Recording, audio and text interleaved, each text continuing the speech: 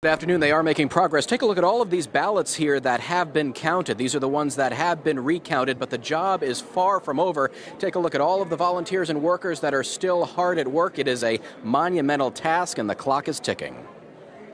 No, no, that is not state law. That is not how the system works. Confusion inside the room at noontime today as folks were still learning on the fly how to hand count the thousands of ballots that'll come through here. Just some of the millions of statewide ballots needing to be verified after Green Party candidate Jill Stein called for a recount. The Bureau of Election staff and the Board of State Canvassers are complying with the judge's order. That judge, a federal one, ruling overnight the recount needed to start today, two days ahead of schedule due to the tight deadline of December 13th.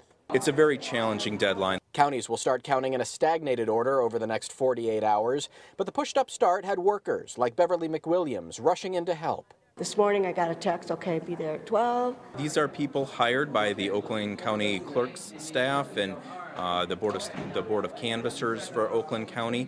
They'll be working in teams of two to review the ballots and tally them up. Observers were also brought in to monitor the teams, people like Calvin Hayhow. Let's check it out.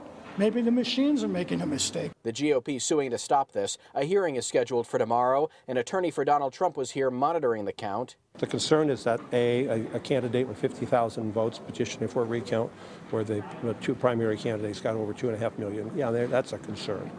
And the fact whether she's an aggrieved individual or not, we think she clearly isn't. An attorney for the Jill Stein campaign declined to talk on camera.